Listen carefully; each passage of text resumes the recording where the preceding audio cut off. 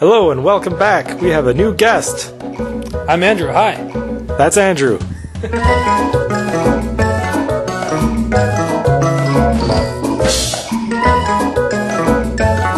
yes, we have a special guest, Andrew Barth. Yep. Andrew Barth. He is the reason, I believe, that I was in Project Egress. Remember that? Was pretty cool. It was pretty fun. It was pretty fun. And he's an engineering student in Illinois. Yep. At Bradley University. You might know I'm in Wisconsin, Illinois, Wisconsin, pretty close. So he made the drive up, and we're hanging out today. And I wanted to do a little interview, ask a little more about him. Remember, I I do this every time someone comes to visit, so that's that's what's going on. Uh, so Andrew, you want to tell us a little about yourself?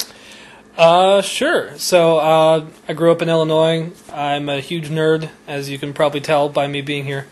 Um, I've liked aviation and space and all that kind of stuff for as long as I can remember.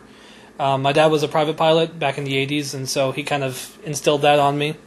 And so I have always wanted to do space related stuff, and I guess that's where Project Egress comes in. I started making friends with Ryan Nagata, the replica builder, uh, a little over a year ago now. He put me in contact with Adam in the Smithsonian, and that got this whole thing rolling. On the side, I also do other fun projects like jet engines, uh, if you want to see that. Yeah. You built a jet engine, building a jet engine. Building, yeah. Not quite running yet, but it's got some fun bits on it. It spins, which is real nice. Ooh. There's a leaf in there. the original version of the jet engine I made entirely entirely by myself. Um, I made all the little compressors and turbines and welded all the stainless. This is still a lot of the original stuff, but this part actually was machined by uh, John Saunders over at NYC CNC. The rest of it I made though, except for these screws. Looks pretty intense. Yeah, it's So it's you said it doesn't run?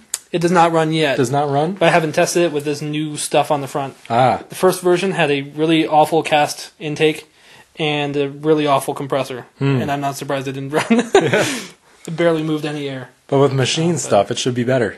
Hopefully, yeah. Hopefully, at least less. I, I know I would not want to cast anything that would spin that fast because Well, I um, would die. It was just the intake that was cast. This was machine. Oh, okay, So, that yeah. makes yeah, that makes sense. I was I was gonna cast it.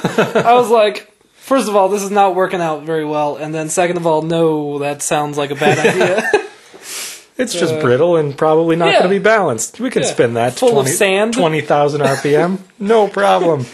so so so you said your dad was a pilot. That's why you got into aviation. Yeah. So my dad is also a huge nerd. Big surprise. When he was 18, he drove down to Florida from Morton, Illinois, Hmm. and uh, watched Apollo 13 lift off in person. Wow, that's Yeah, that's, that's pretty intense. awesome. Yeah, Um, so I'm a little jealous that he got to do that, but also I wasn't alive, so that's understandable. small details. Yeah. It's just time Um, travel. Yeah, yeah, no big deal. So he he uh, has always had that interest, and he uh, allowed me to kind of explore aviation and all that on my own. Hmm, that's pretty um, cool. So it was, yeah, So is that what got you into engineering? I'd say yeah, Yeah. yeah. One of my earliest memories is in Wichita, Kansas, seeing a B two bomber fly over me Oh, on be approach to cool. landing. So that's that's probably a lot of it as well. Yeah. So there you go. Get your kids out and looking at cool stuff. Yeah, Expose them to nerd stuff if you want nerds. yeah. Expose them to other stuff if you want boring normal people. I don't understand normal people. I don't either. A while ago, I know we talked about King of Random. Hmm. Um, his metal melt metal melter thing. Oh yeah, the spot welder thing. Yeah, I made one of those a long time ago. Um, Did that work? It looked like a death trap. it vaporizes pennies. Let me tell Oh, you. interesting. The zinc pennies. If you uh, Yeah. yeah, if you touch them together on the penny, it just kind of flashes blue and then disappears and splatters on you. So it's it's real good. That that sounds great to breathe. It is it is amazing. Yeah. That is fantastic. he brought me something cool. I'm gonna go grab it. Hold on. This big honking thing is a brick, 20 pounds of brass. Do you know what kind of brass? Or just I probably have no idea. probably leaded brass. uh, yeah. I mean, it's probably like a yellow It's- brass. It's heavy. I know that. Whatever it is, it's going to be cool looking. Yeah. So, er, in the future, maybe I'll see how quickly I can melt 20 pounds of brass. that sounds like a fun video and one of my gigantic new crucibles that I haven't tried yet. Oh yeah. A couple of huge ones. So, That's pretty awesome. Thank you, Andrew. Yeah. So you said so you're an engineering student, Mm-hmm. but after that you're going to go. You want to go into aviation engineering. Yeah, I'd like to go into something aerospace related, either rockets Yeah. or airplanes. That would be cool. Ro- rockets sound Yeah, cool. You've been following SpaceX. Absolutely. Yeah. Pretty pretty soon they're gonna hopefully fingers crossed they'll have the Starship flying. Yeah. That'll be pretty awesome. I watched. Uh, I think it was ULA launched the Starship for Oh the the Starliner or whatever. the Starliner. Yeah. Star, not, yeah. Starliner. the the um, flying and now falling back to Earth Yeah. after a minor oops. oh yeah. I was kind of half asleep Yeah. at that point, so I, it was just after lunch. I kind of tuned out, and then I heard they missed the the thing, the the orbital burn. I was like, Yeah. what? Yeah, missed the orbital So burn, and now they're like out of gas or something. and it's like it's like they had me designing the thing. like that happened all the time when I played Kerbal Space Program. Get into orbit and I'm like, wait, I'm out of gas. Whoops. And I can't get back. Sorry, Jebediah, you're gonna die. No, no. Here's what you do: you you make the guy get out yeah, and, and push with his with his with his thrusters. You get him in the front, just have him push the thing slower. And if he runs out of fuel, get back in, get back out. He has a full tank. Hmm. It doesn't deplete the monopropellant on the thing. It was a glitch. Oh, really? It's an exploit. Yeah. You can you can get in and out infinite times and always have a full full pack full of monopropellant. so you can really push that thing far. So there so there you go. If you make me design your spaceship, you might have to get out and push. so get ready for that. Yeah, oh, that's a great game. 2.0 is coming. yeah, I'm like, I'm yeah, excited. that's gonna be So awesome. cool. Inter like interplanetary and or inter Interstellar, interstellar travel. and the graphics look pretty awesome. Yeah, New Fire. I never even made it to to Eeloo. I I would get like I haven't either. Jool and like hit all the moons. And like, ah, kind of bored with this now. It's taken me like two days to design a whole starship. like, I I have other things to do in my life. what am I doing? Having fun. That's what I'm doing. So, uh, your dad's a pilot, kind of a nerd. You're kind of a nerd. Is that like a family thing? Yeah, pretty much. Yeah. A, Yeah. a bunch of Um, people like doing cool stuff. Yeah, my my oldest sister is a librarian. Has Hmm. been since she was real young. So that's that's um, that's old school nerd. Yeah, uh, my sibling is an artist.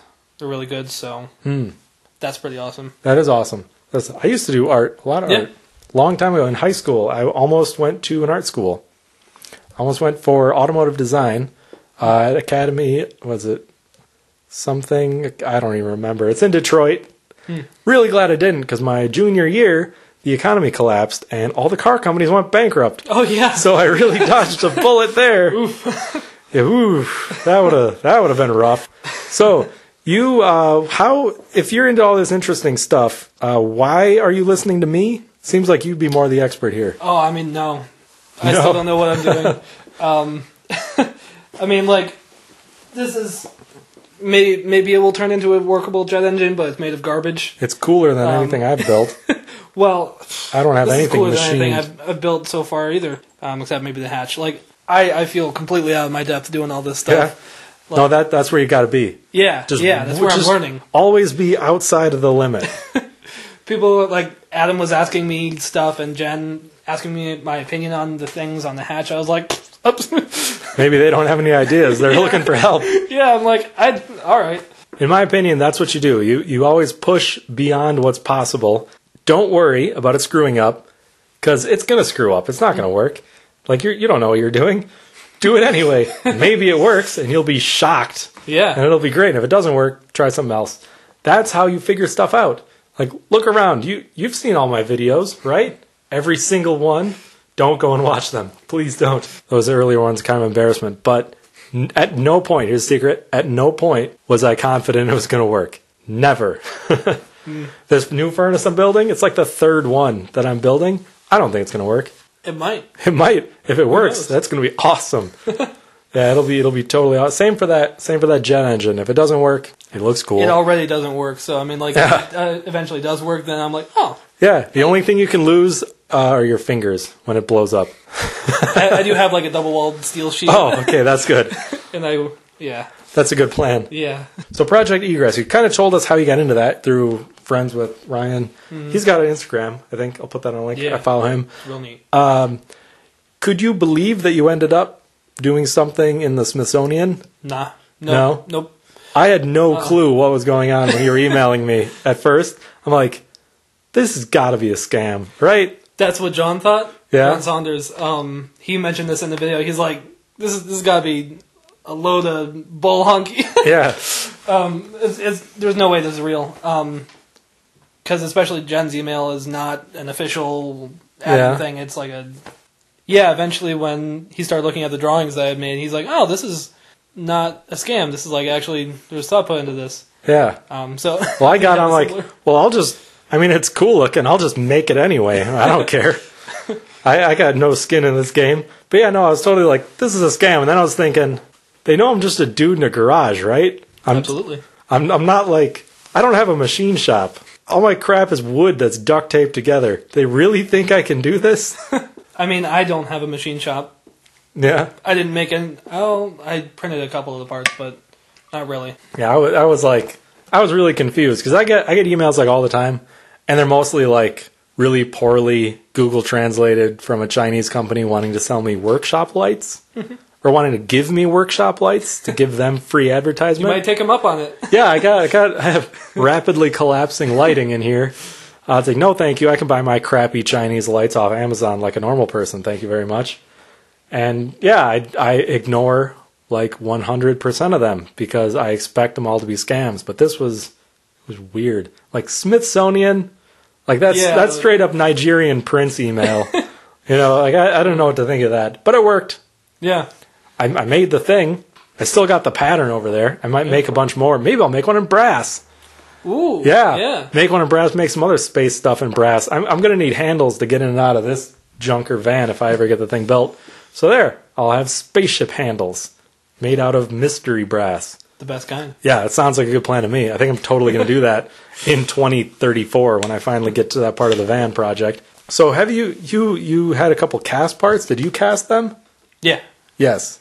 Uh, wait, on the On your first jet engine? on the jet engine, yes. I thought you were Yeah. talking about the hatch still. Um, yeah. So I played around with casting bits of compressor, and then quickly realized that was not going to work. I did like a lost PLA casting thing in an open faced. Uh, Oh, well, it was it was top notch. yeah, that's great. Um, That would work And fantastic. they're real thin blades. Yeah. so it filled in partially, and I pulled it out. I was like, oh yeah, no. no. Um, and so eventually, I abandoned the casting of the compressor because I also thought there's no way I can get this so that it doesn't fly apart immediately.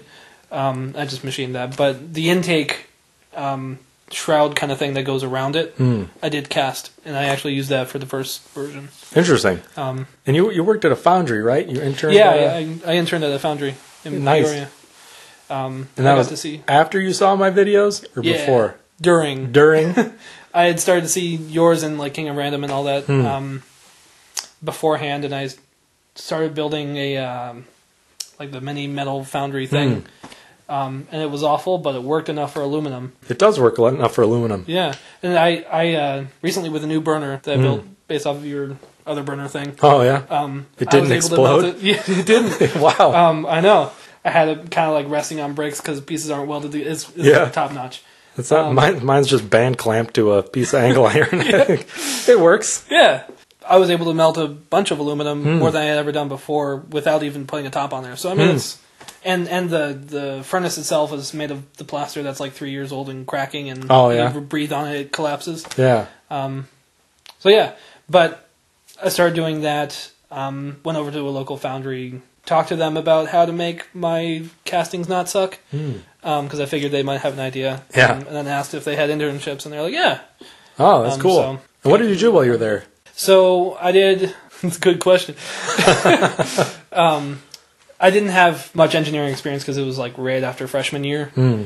Um, but they had me optimizing some some stuff in the assembly, uh, in the the mold making process, Hmm. um, assembling the molds and saving sand and whatnot. Oh, that's interesting. It was still interesting, and I got to play with fun stuff. And Yeah. they had me carry one of the flasks of aluminum. They have these like I think twenty two hundred pound Wow. Clay, uh, graphite clay Oh yeah, yeah. crucibles. The huge Um, ones yeah, with like the crane. uh huh. Yeah. Um, and they're just filled with aluminum, and it's all glowing red. It's like fifteen hundred degrees or something. Um, and the pouring people just like take this pot about this big and just dip it in there and pull it out, and they make it look so easy, but it's like seventy pounds, and I was Yeah. walking with it. I was like, oh no, this is Don't spill oh, no, it. You yeah, will die. Don't drop it. It'll spray everywhere. But yeah, it was a lot of fun. Yeah, it sounds fun. It sounds very dangerous. Yeah, it was fun. Yeah. They uh, they had these big six thousand pound capacity furnaces. wow. One of them tilts Oh like yeah, on hydraulics, and so it pours into a transfer basin Hmm. uh, that's carried by forklift over to the other thing. So And so do they degas the aluminum? they do. Yeah? Um, they just bubble nitrogen through it. Yeah, that's a good. So Yeah. so people ask me about this. I do not degas anything anymore because uh, in a professional setting like that, the aluminum is molten, exposed to the air for a long time, like all day, Continuously. continuously. Yeah, they so they shut it off. Yeah, so they got to keep they got to keep it degassed or their parts will have a problem. I melt it immediately in like three or four minutes and pour right away. So it's it doesn't have a chance to absorb that much of the hydrogen out of the atmosphere. So it's not as big of an issue. I still get some porosity, uh, but I suspect a lot of that's my crappy ramming. so like, and and nothing that I make is for sale or structural or industrial. I'm literally just screwing around, so like it's not it's not that critical anyway. And I don't degas. I got some chlorine, some of that pool chlorine, uh, anhydrous or whatever, and uh, I could use that, but I also don't like chlorine gas. Like Yeah, that's, not. Uh huh. And if it happens to react with the hydrogen under the high temperature, is just you know hydrochloric acid. Yeah, so- it'll be fine. I don't, I don't feel like dying. Not that way. Like if I'm going to die from stupidity, it's going to be something a little different. Fire. Yeah. Not with Not with Chlorine. not with like mustard gas or something. Anything else you're in, into? about video games. Do you play Kerbal Space Program? oh yeah, Yeah, definitely. a lot or a little or Um, not as often, but I've been with it for a long time. yeah. Like the old before the before there was a map view. Oh yeah, You know, back then. yeah. Um, I think I started just before the the SLS parts, okay. so yeah. there was a map view, Yeah. but it was still very early in development. Mm-hmm. And then I played it like it was a full time job, probably until one point one. Mm-hmm. And then I kind of burned out of it, and then I like I had to get a life because like I had a wife and a job. But then I started building stuff in here. I'm still working up to a spaceship. That- We, that- we got one part. yeah, we got Yeah. we got part. right? We got the handle for the hatch. That's NASA approved, even. Ninety percent of the way there. Yep. Now I just need more fire and hydrogen tanks. I think a uh, command module might fit in here. Yeah, Yeah. it could. I don't think we could get it out. Minor details. That's how you do successful space travel, right? Just worry about the details as the problems arise. Don't Yeah. worry about them up front. Yeah. Never get off the ground. Yeah. Look at look at SpaceX. Just launch it. Maybe it blows up. I don't know. We'll build another one. works for them. Yeah, and then it then it works somehow. They're like, ah, we don't care if this blows up, and then it does like a perfect mission. Yeah. Crash Team Racing. Crash Team Racing. Yeah. Never heard of that one. That's like for the PlayStation One. Oh yeah. Never heard of that. I do. I I tried some uh, some BeamNG Drive, some Ooh, Wreckfest, Yes. like the newer the newer Crash ones. Mm-hmm. You might like. You can heard a game called Automation. It's still in development. It's uh, you basically have to run a car company, including designing the cars. oh, So you get to pick like, you know, do you want monocoque? Do you want ladder chassis, double wishbone front?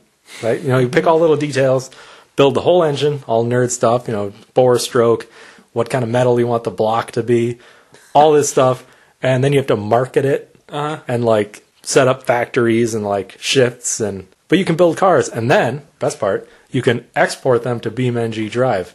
Oh, that that is Yeah. actually the best part. That is, that is the That's best awesome. part. So you can build you can build a 900 horsepower minivan if you want, and then try to drive them because no one's going to buy them in the game because that's ridiculous. Check out if you're into engineering nerd stuff. Automation. It's on Steam. Not a sponsor, although I do sort of know the should developer. they should be. They already they already got my money. I already bought the game. If that game, man, if that game was around when I was in middle school, I feel like we're rambling now. Maybe we should wrap this up. Do you have any closing words? Words of advice? Um, for for children of all ages who are interested in this kind of thing. um, be safe, but also make stuff. Don't be too safe. That's what he's saying. yeah, pretty much. be safe, but don't let it get in your way. Exactly. Never let mm, never let school get in the way of your education. Yeah. is a, is a thing that my parents taught me. Yeah. Um, Or what, what does Rick from Rick and Morty say? Don't do don't go to school. It's not a place for smart people. go to school though. Actually do that. Do do go to school. It's it's useful. Yeah, well, like none of my viewers are under 18 according to analytics. So who cares? You're all out of school. if you're not, go to community college or something. Learn a trade. Yeah. Oh yeah. Yeah, if you don't want to go to like a four-year university, learn the. Stupid alarm. I got five minutes left. Go away. Yeah, I went to college and then I went to graduate school and then I went to more graduate school and now I work in a trade. I don't use my degrees at all. Yeah. At all for any of that. Uh, if I was really smart though, I wouldn't have gone to graduate school. But hey, now you have more knowledge. Now, yeah, yeah, Knowledge. knowledge. yeah, maybe not too hard with that. yeah, not too hard with, with my microphone here. So thank you for coming. We're gonna go get some lunch and then probably uh, stack some bricks. See how that goes. I don't know how to sign off an interview. I've just now realized. Speaking of uh, coming up with issues, solutions to issues as they arise. So I'm just gonna say goodbye. Best wishes. Best best wishes. it's a holiday season. Happy, merry, whatever you Happy celebrate. Merry Christmas, Kwanzaa. Yeah, there you go. We'll, we'll go with that. See ya.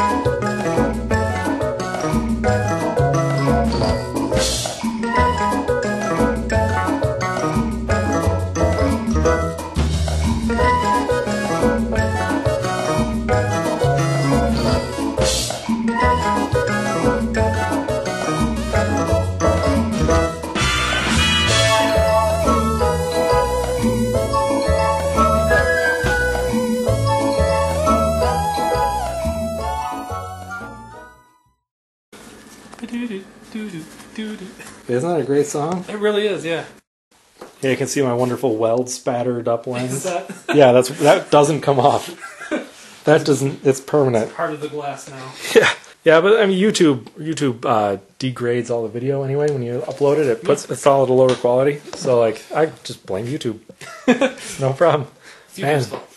There's that new thing they're doing, like the child safety whatever Yeah, I have no idea what's going on thing. with that. People are freaking out because like they don't they don't want like marketing directly to kids or something. And I'm like, I play with fire and electricity, and I tell people, don't do this, even if you're an adult. But also, so- it's good for kids. Yeah, but also, I try to keep the videos family friendly, Character. so that that might that might bite me. But hmm. I don't know. Like you, this I'm not even going to put this on the video, but YouTube shoots itself in the foot like every six months, and everyone thinks it's Armageddon. Mm. Never, It- nothing never- bad ever happens. From the other side, Yeah. I, I see a bunch of creators like freaking out. They're like, "This is gonna be the worst," and then like they either roll back what they were saying or like it well, doesn't end up being. if you freak out, people watch. That's true. Yeah. Yeah. And like this, this isn't. I don't. This isn't my income. So like I I can afford to not freak out because like YouTube could shut down completely tomorrow forever, and like I'm not going to be homeless because like my job pays for the house. Yeah. This is just screwing around. It kind of sucked because then like you'd have to find another place to upload Mm-hmm. videos and ramblings. But Yeah, that's. I'll make a podcast. yeah, Yeah, would. all the worst. gonna melt. all the worst parts. Imagine all the videos without me in them, but it's just my voice describing what's happening in real time. Ah, this is hot. Whoa. and then just the furnace in the background. Yeah. I can't hear you. Yeah, and you can't. It's just me shouting over. that would be interesting for for about two minutes, and then it would get really, really annoying. Ugh.